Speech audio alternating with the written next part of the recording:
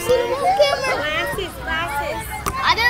It, it's, it's like in a banana shape. It's right there. I see a moon right there. It's getting smaller. Cup 2017.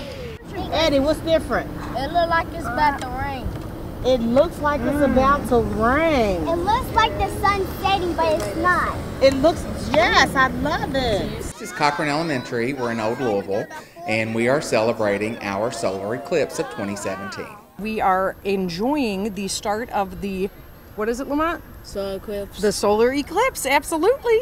the moon comes in front of the sun and then it blocks the um earth's the sun's path and it makes the solar eclipse We started this process and planning back in the spring. It hits pretty much every subject, so it's kind of like a teacher's dream. Is the size of the different today?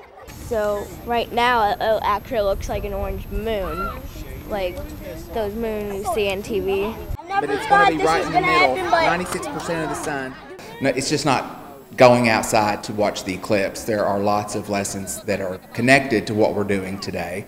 Um, for example, in fourth grade, they created journals in art class, and the children, as they go out to see the eclipse uh, four or five times throughout the afternoon, they're journaling and drawing what they're seeing. So they're going to be able to keep this journal forever. The sun is a hundred times 400 times bigger than um the moon This is amazing. It looks like you have a big bite in it. so exciting. You know, it's it's just a phenomenon, and it's so nice to see children getting this experience.